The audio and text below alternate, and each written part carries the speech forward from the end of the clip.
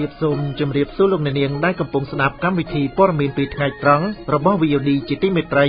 មេតិការព័ត៌មានសំខាន់សំខាន់សម្រាប់ថ្ងៃប្រហោះទី6ខែកក្កដាឆ្នាំ2017នេះរួមមានរបាយការណ៍បង្ហាញថាចំនួនដីធ្លីថ្មី ឆ្នាំ2016កើនឡើងខ្ពស់លោកលើឡៃស្រេង ស្នើឲ្យបង្កើតច្បាប់ការពារនាយករដ្ឋមន្ត្រីពេលធ្លាក់ពីអំណាចរួមទាំងព័ត៌មានសំខាន់សំខាន់មួយចំនួនទៀតដែលនឹងជម្រាបជូនលោកអ្នកនាងស្ដាប់ជាបន្តបន្ទាប់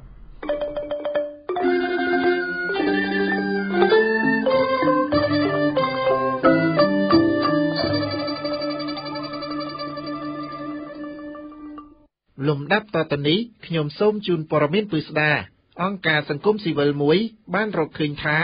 ករណីវិវាទដីធ្លីថ្មីដែលកើតឡើងក្នុងឆ្នាំ2016មានចំនួន56ករណីហើយថាកើនឡើងជាងឆ្នាំនានាដែលគេបានធ្វើការកត់ត្រាតាំងពីឆ្នាំ2007មកនោះ ក្នុងរបាយការណ៍ដែលបង្ហាញដោយវេទិកានៃអង្គការមិនមែនរដ្ឋាភិបាលស្ដីពីកម្ពុជានៅថ្ងៃនេះបានឲ្យដឹងថាក្នុងឆ្នាំ2015ចំនួនដីធ្លីដែលខ្លួនបានរកឃើញមានចំនួន23ករណីប៉ុន្តែបើធ្វើការប្រៀបធៀបករណីវិវាទកើតឡើងថ្មីក្នុងឆ្នាំ2012ជាឆ្នាំបោះឆ្នោតជ្រើសរើសក្រុមប្រឹក្សាឃុំសង្កាត់ចំនួនវិវាទដីធ្លីក៏មានការកើនឡើងខ្ពស់ផងដែរ ដោយមានចំនួន46ករណីចំនួននេះធៀបនឹងឆ្នាំ2016មានចំនួន56ករណីគឺកើនឡើងច្រើនជាង18%របាយការណ៍ដដែលបានកត់សម្គាល់ថាវិវាទដីធ្លី58ករណីបានដោះស្រាយចប់ទាំងស្រុងនៅឆ្នាំ2016ប៉ុន្តែ3ករណីបានបោះបង់ការទាមទារដោយសារអាជ្ញាធរឃុំបានប្តឹងតំណាងប្រជាពលរដ្ឋទៅតុលាការ ហើយតុលាការបានកោះហៅតំណាងទៅបំភ្លឺដោយចោទថាប្រជាពលរដ្ឋបានរំលោភយកដីសាធារណៈរបស់រដ្ឋករណីខ្លះទៀតពលរដ្ឋជាដើមបណ្ដឹងធ្លាប់ត្រូវបានអាជ្ញាធរបាញ់គំរាមកំហែងបានធ្វើចំណាកស្រុកទៅក្រៅខេត្តលែងមានអ្នកណាចេញមុខក្នុងការប្តឹងទាមទារបើតាមរបាយការណ៍នេះនៅមានវិវាទដីធ្លី319ករណីដែលពុំទាន់នឹងកំពុងរងចាំការដោះស្រាយហើយថាខេត្តរតនគិរី មានវិវាទច្រើនជាងគេ គឺ31ករណីបន្ទាប់មកគឺរាជធានីភ្នំពេញ វិវាទដីធ្លី319ករណីនេះបានប៉ះពាល់ដល់ប្រជាពលរដ្ឋចំនួនជាង5លាន4សែនគ្រួសារបានគ្របដណ្ដប់លើផ្ទៃដីទំហំ ជាង1លានហិកតាវេទិកានៃអង្គការមិនមែនរដ្ឋាភិបាលស្ដីពីកម្ពុជារកឃើញថាមូលហេតុដែលបង្កឲ្យមានវិវាទដីធ្លី គឺការផ្ដល់ដីសម្បត្តិសេដ្ឋកិច្ចនាពេលកន្លងមក ការប្រើប្រាស់អំណាចជាមន្ត្រីរាជការកងកម្លាំងប្រដាប់អាវុធនិងអំណាចមុខងារជាអង្គញាឬអ្នកមាននិងការរំលោភយកដីរដ្ឋធ្វើជាកម្មសិទ្ធិបាទលោកអ្នកនាងស្ដាប់ជាទីមេត្រីរីឯអ្នកនយោបាយជើងចាស់មួយរូបឯនោះវិញបានលើកឡើងថាលោកចង់ឲ្យសមាជិករដ្ឋសភា បង្កើតច្បាប់មួយ ការពារនាយករដ្ឋមន្ត្រីពេលធ្លាក់ពីអំណាចដើម្បីកុំឲ្យមានការកាត់ទោសលោកហួតវុធីរាយការណ៍ លោកលឺឡៃស្រេងបានលើកឡើងដូចនេះទៅកាន់អ្នកសារព័ត៌មានខណៈលោកចូលរួមរំលឹកវិញ្ញាណក្ខន្ធជនរងគ្រោះក្នុងព្រឹត្តិការណ៍បង្ហូរឈាមថ្ងៃ5-6កក្កដាឆ្នាំ1997ខួបទី20ឆ្នាំលោកបានអះអាងថាលោកមិនចូលរួមជាមួយគណៈបកសង្គ្រោះជាតិទេប៉ុន្តែលោកថាលោកគាំទ្រគណៈបកប្រឆាំងមួយនេះ អតីតរដ្ឋមន្ត្រីក្រសួងព័ត៌មាននិងក្រសួងអភិវឌ្ឍជនបទមកពីគណៈបកហ៊ុនស៊ុនពេជ្ររូបនេះបានបង្ហាញចំហរបស់លោកថាលោកចង់ឲ្យគណៈបកប្រជាជនកម្ពុជានិងគណៈបកសង្គ្រោះជាតិសហការគ្នាបង្កើតច្បាប់មួយការពារនាយករដ្ឋមន្ត្រីធ្លាក់ពីអំណាចកុំឲ្យមានការកាត់ទោសណែសូមឲ្យគណៈបកទាំងពីរធ្វើច្បាប់មួយនៅក្នុងសភាបង្កើតថានាយករដ្ឋមន្ត្រីផុតអាណត្តិមានអភ័យឯកសិទ្ធិអត់មានកាត់ទោសទេរួចហើយឲ្យទៅជាវិរៈបរជាតិខ្ញុំនិយាយចឹងទៅនិយាយទៅទៅចុះស្លាចុះឡើងគេថាមានលោកតាឯងធ្វើទៅគេស្នើទៅបានល្អឲ្យកណាមួយទៀតស្នើអត់ល្អដែរដូចតែ ខ្ញុំហើយខ្ញុំក៏ប្រកាសម្ដងទៀតដែរខ្ញុំមិនមែនចូលសង្គ្រោះជាតិទេខ្ញុំអត់ចូលទេប៉ុន្តែខ្ញុំគ្រប់គ្រងលោកលឺឡៃស្រីយល់ថាបើធ្វើដូចនេះបានគឺបញ្ជាមិនឲ្យមានវប្បធម៌ទឹកឡើងត្រីស៊ីស្រមោចទឹកហើយស្រមោចស៊ីត្រីអ្នកនយោបាយអាយុជាង80ឆ្នាំរូបនេះបានប្រមានថាលោកហ៊ុនសែនកុំគំរាមប្រើកងទ័ពដើម្បីការពារអំណាចរបស់ខ្លួនដោយថាកងទ័ព70%មិនចេញទៅធ្វើសង្គ្រាមជាមួយខ្មែរគ្នាឯងនោះទេហើយទៅចង់ប្រើកណ្ដុងហើយខ្ញុំផ្ដាំហើយណាផ្ដាំហើយណាតិចទូកំរៀងកំហែងប្រើចង់កណ្ដុងបរាជ័យហើយ អូហ៊ានប្រើឲ្យថាអញអាងមានតែហ៊ានអត់ទេតែហ៊ានណា70%អត់គ្រប់គ្រងទេណាអង្កលទីសានត្រានបើជួងកូនទៅបរទេសទិញផ្ទះនៅបរទេសចាក់ក្នុងពេញរំអស់ឡានស្រាប់មួយតាម20 30ហៅឥឡូវមានដល់ឡានរាប់លានបើពុនតែហ៊ានវាបងនៅជាជៀនលក់ឲ្យកូនទៅរៀនអាតែហ៊ានមួយចំនួនរត់ម៉ូតូទៅតិចតែដល់ចាញ់ហើយមកហៅវាទៅធ្វើច្បាំងបង្ហូរជាងខ្មែរតិចវាមិនទៅ70%អត់ទៅដូចជាកុំលេងអាទូងទូងនឹងបរាជ័យអ្នកនាំពាក្យគណៈបកប្រជាជនកម្ពុជាលោកសុកអេសានមានប្រសាសន៍ថាលោកមិនទាន់នឹកឃើញពីបញ្ហានេះទេហើយថាមិនស្របតាមសភាពការជាក់ស្ដែងដែរឥឡូវយើងបញ្ហាសំខាន់យើងអនុវត្តត្រឹមត្រូវតាមគោលការណ៍ច្បាប់ដូច្នេះយើងគ្មានព្រួយបារម្ភពីបញ្ហាណានាកាត់ទោសណានាទេអត់មានបញ្ហាអញ្ចឹងទេបាទ ដល់ខណៈយើងបង្កើតរឿងហ្នឹងវាហាក់ដូចជាយើងហ្នឹងមានខ្លួនណាអញ្ចឹងទេលឺឡៃស្រីគាត់និយាយនេះគាត់វិញគាត់ទេលោកបន្ថែមថាកងទ័ពមិនស្រឡាញ់សង្គ្រាមទេតែចាំបាច់គេត្រូវបង្ក្រាបដើម្បីការពារសន្តិភាពសូមរំលឹកថាបំណងនៃការបង្កើតច្បាប់ការពារនាយករដ្ឋមន្ត្រីដែលធ្លាក់ពីអំណាចនេះត្រូវបានលោកហ៊ុនសែនបង្ហើបម្ដងដែរកាលពីពេលស្រស់ស្រួលផ្នែកនយោបាយក្រោយជាប់គាំងឆ្នាំ2014ប៉ុន្តែលោកអះអាងថាច្បាប់នេះត្រូវបានលើកឡើងដោយគណៈបកប្រឆាំងតែលោកថាលោកមិនត្រូវការច្បាប់នេះទេ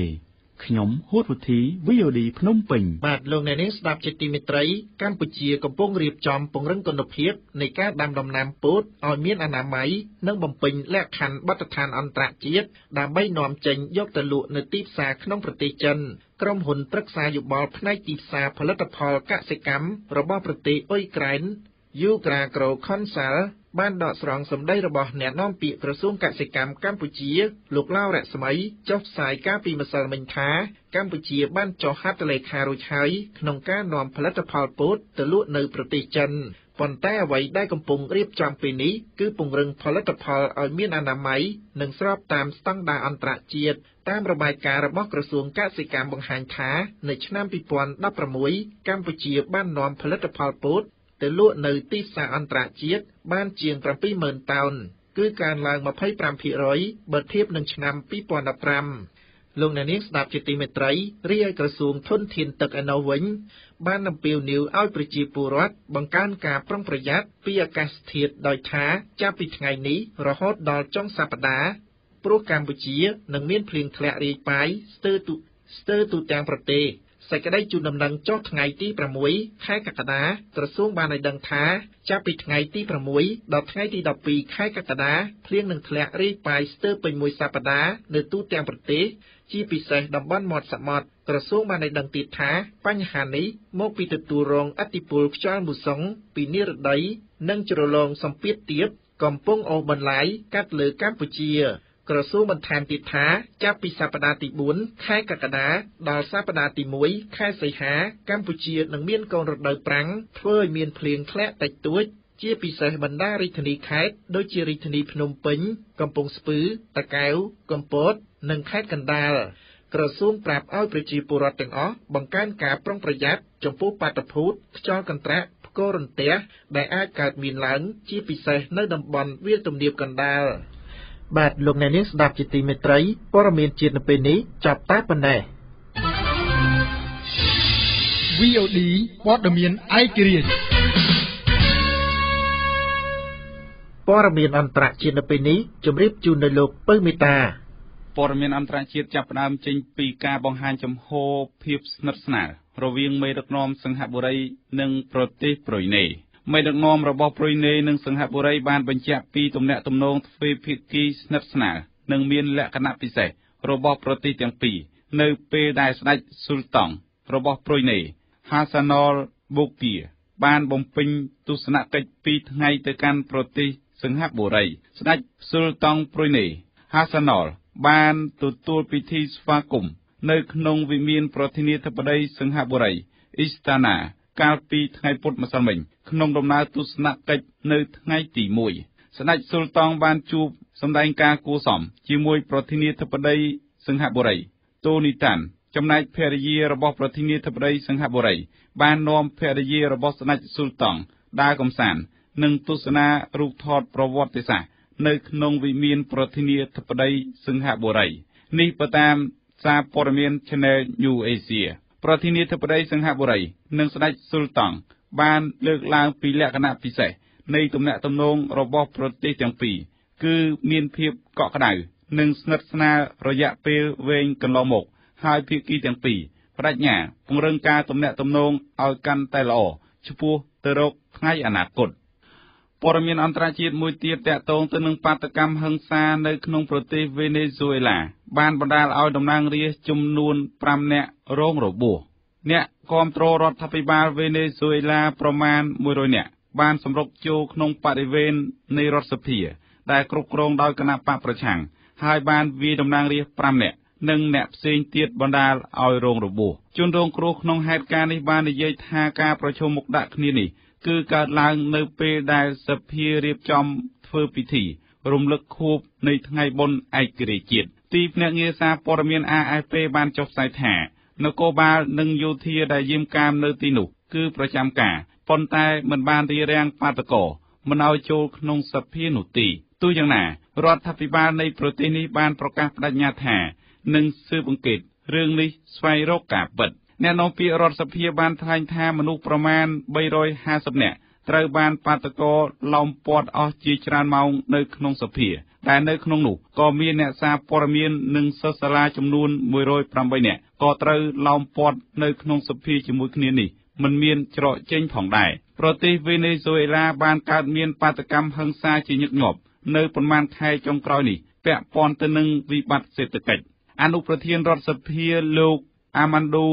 អាម៉ាស់បានរងរបួសបែកក្បាលហើយត្រូវបញ្ជូនឡើងរថយន្តទៅសង្គ្រោះនៅមន្ទីរពេទ្យបានថ្លែងប្រាប់អ្នកសារព័ត៌មានថា របួសរបស់លោកនៅពេលនេះគឺមិនសូវឈឺចាប់ប៉ុន្មានទេ អ្វីដែលលោកឈឺចាប់ខ្លាំងនោះគឺប្រទេសជាតិកំពុងតែជួបគ្រោះថ្នាក់ជារៀងរាល់ថ្ងៃសហរដ្ឋអាមេរិកបានសម្ដែងការសោកស្ដាយចំពោះហិង្សា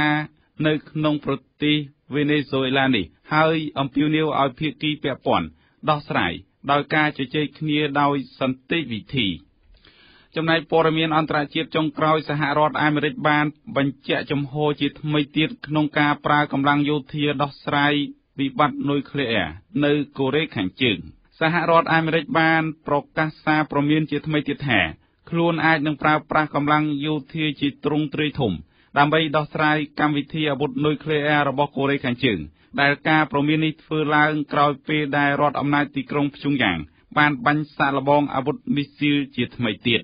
ឯកអគ្គរដ្ឋទូតរបស់អាមេរិកប្រចាំនៅអង្គការសហប្រជាជាតិបានថ្លែងថាការបាញ់សាកល្បងអាវុធមីស៊ីលជាថ្មីទៀតនេះកាន់តែបង្ហាញពីសញ្ញាគ្រោះថ្នាក់កាន់តែខ្លាំងហើយអាមេរិកនឹងប្រើប្រាស់ដំណោះស្រាយថ្មី ប្រឆាំងរដ្ឋអំណាចទីក្រុងព្យុងយ៉ាង ក្នុងនោះក៏មានការប្រើកម្លាំងទ័ពផងដែរនេះបើតាមសារព័ត៌មាន BBC ឯកអគ្គរដ្ឋទូតរបស់អាមេរិកលោកស្រី Nikki Haley ក៏បានរំលឹក ពីការប្រើយន្តការនៃការរឹតបន្តឹងការធ្វើពាណិជ្ជកម្មដើម្បីដាក់សម្ពាធរដ្ឋអំណាចទីក្រុងជុងយ៉ាងផងដែរកូរ៉េខាងជើងបានបាញ់មីស៊ីលថ្មីជាបន្តបន្ទាប់ដែលជាការបំពានទៅនឹងបំរាមរបស់ក្រមប្រឹក្សាសន្តិសុខអង្គការសហប្រជាជាតិហាមប្រទេសនេះមិនឲ្យសាកល្បងលោកស្រី Nikki Haley បានថ្លែងថាកាលពីថ្ងៃអង្គារកូរ៉េខាងជើងបានបាញ់សាកល្បងអាវុធមីស៊ីលឆ្លងទ្វីបជាថ្មីមួយទៀតដែលសកម្មភាពមួយនេះ គឺជាការបំផ្លាញដំណើរការស្វែងរកដំណោះស្រាយតាមការទូតដោយការចរចាដោយសន្តិវិធីលោកអ្នកអាចស្ដាប់ឬអានព័ត៌មាន VOD ឡើងវិញតាមរយៈគេហទំព័រ www.vodhotnews.com